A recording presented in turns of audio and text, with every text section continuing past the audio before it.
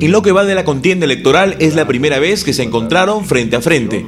El breve debate fue en Lima y se realizó en los estudios de RPP. Los favoritos en las preferencias para el gobierno regional, José Murgia y Manuel Yempen, polemizaron alturadamente en un diálogo donde inicialmente se abordó el tema de la inversión social. Y yo he estado en Virú y no tenemos un hospital para todos esos miles de trabajadores que nosotros tenemos ahí.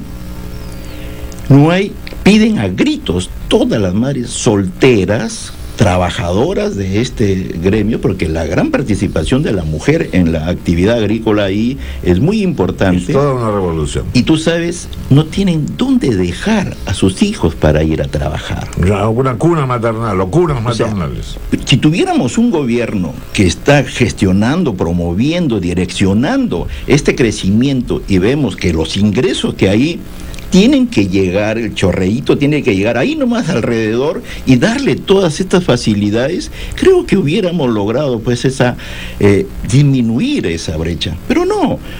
Yo tengo que hacer algunas precisiones a lo dicho Juan Manuel. Eh, eh, tú sabes que se está construyendo el Hospital de la Seguridad Social en Virú. Con una inversión de 10 millones de soles. Tú sabes que existe un centro de salud, o sea, no es tan preciso lo que tú has manifestado de que no existe. Lo que pasa es que sí ha habido una, una decisión gubernamental para mejorar los servicios de salud. Y en cuanto a las guarderías, Camposol ha hecho una hermosa guardería hace cuatro años en, en, justamente en Virú. Sería bueno que te des una vueltecita, te voy a decir, para mirar estos avances que se han hecho gracias a la concertación del gobierno municipal de Virú con la seguridad social.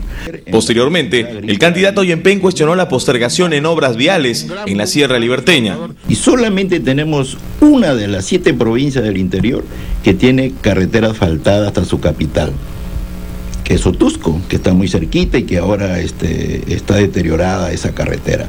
Entonces, es necesario identificar las potencialidades de las provincias del interior, definir cómo el gobierno regional va a apoyar la capacitación, la parte del entorno para hacerla esa potencialidad lo más rápido viable. Ante ello, el candidato reeleccionista del APRA respondió. Definitivamente esa es la acumulación de lo que nos ha dejado el proceso de centralismo. Eh, se apuntó solamente a la, a la costa, pero no se atendió a la sierra. Eh, es cierto, en la sierra hay que apostar por un plan vial que lo tenemos definido en este plan de desarrollo concertado que ha venido siendo realizado con el apoyo del PNUD. Finalmente, Murgia Sanier manifestó que se trabajó de manera conjunta y gracias al PNUD en un plan de desarrollo concertado entre el 2006 y el 2010. No hay un plan. Sí, pues, acá está el plan.